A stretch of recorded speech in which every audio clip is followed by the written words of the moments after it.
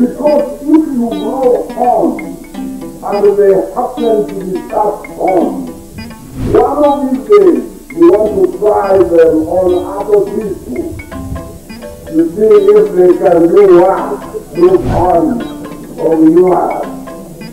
And in exercise, you may find that other people have stronger horns and break those horns of yours.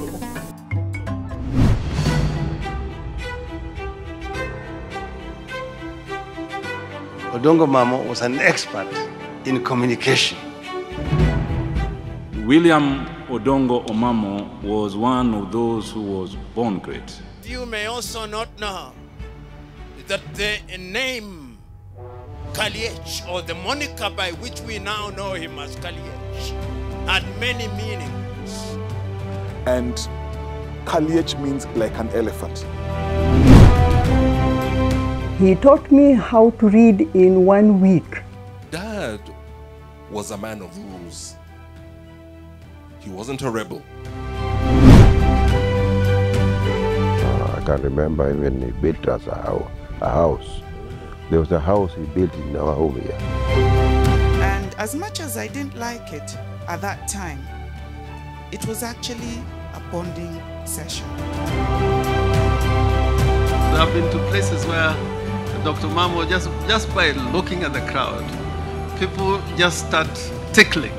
Obama is a living example of political tolerance. That you can be political rivalries without being enemies.